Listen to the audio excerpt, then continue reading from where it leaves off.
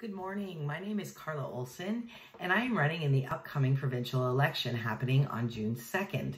I'm so happy that I've that I've been given this opportunity to create this video to introduce you to myself and to my party and to help you to make an informed decision um, when you go to cast your vote on June 2nd.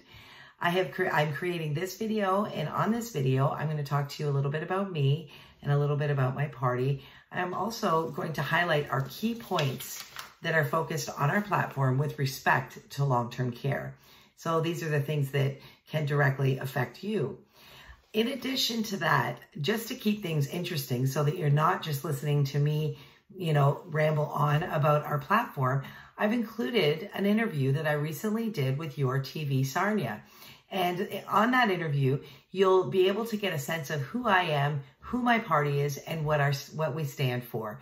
So I hope that this video is informative to you. I hope that you enjoy it, and I hope that it helps you to make your decision when you go to cast your vote on June 2nd. So I'll start, I'll go ahead and start by telling you that I am not a politician. I am a wife of 23 years. I'm a mother and I'm a grandmother. So I have three children and three grandchildren. I'm running with the Populist Party Ontario, or the PPO. We are a grassroots party. We are the alternative to the establishment parties that you, all, you already know, the NDP, Liberal, and Progressive Conservatives. We are ordinary people who identify the need for the government to get back to truly serving the communities they represent.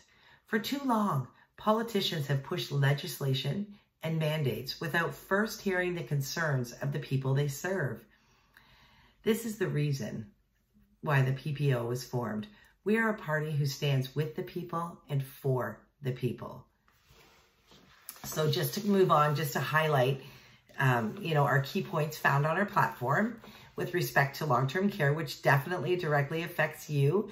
I'm just, this is not the entire platform on long-term care. This is not all of our goals. These are just a, a quick highlight of it.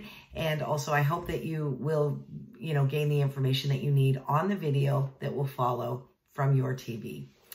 So immediately for long-term care, we would like to hire back all the staff that have been terminated or placed on unpaid leave as a result of COVID-19 vaccine policies.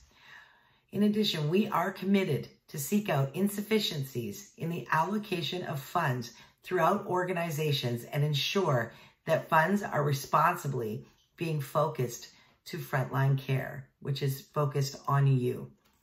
It is our goal to improve job satisfaction and resident continuity of care by creating more full-time positions in long-term care homes and in community care. We need more PSWs. We would like to support and explore earn as you learn programs, which would, which would work like apprenticeship programs or on-the-job training with hybrid formats for theory. In addition, we would like to expand the PSW programs offered currently at Alexander Mackenzie High School here in Sarnia. We would like to expand that across the province in all high schools. We also, and lastly, but not least important, we recognize the hardship that many residents, you, in long-term care have felt over the last two years with the visitor instructions or restrictions, I'm sorry, with restrictions that have been put into place. We want to reunite, reunite you and your families. And we want to open the homes to ensure that you can hug your family members, all of your family members. So that just gives you just a quick overview of our platform with regards to long-term care, tells you just a little bit about myself. And, uh, you know, again, I just want to thank you for this opportunity. I wish you a great day, and I hope you enjoy the interview that you're going to see um, from myself and your TV.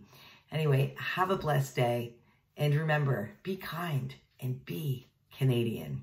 Thank you so much.